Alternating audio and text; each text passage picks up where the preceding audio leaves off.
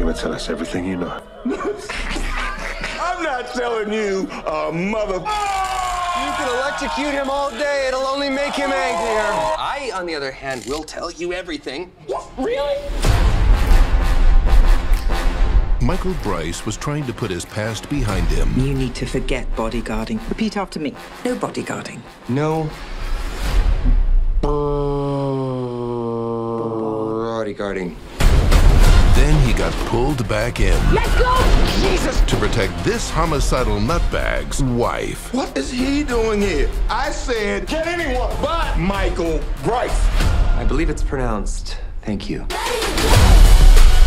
In four days, all of Europe will burn. They're planning a full-scale cyber attack. Do not screw this up. But we are definitely gonna screw this up.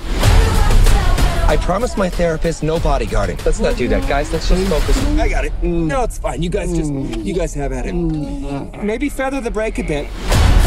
I need you to protect us. We're trying to have a baby. May God have mercy on our souls.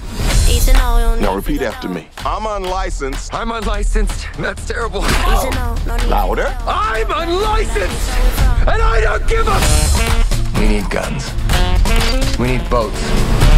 We need them. Are you ready to get your freak on? What? That came out wrong. Not together. With us. That also came out wrong.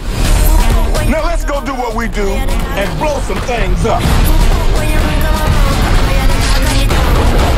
I would make a great mother, don't you think? I would think make you- a great yes. mother? Thank you. It must be your powerful asexuality that makes you such a good listener.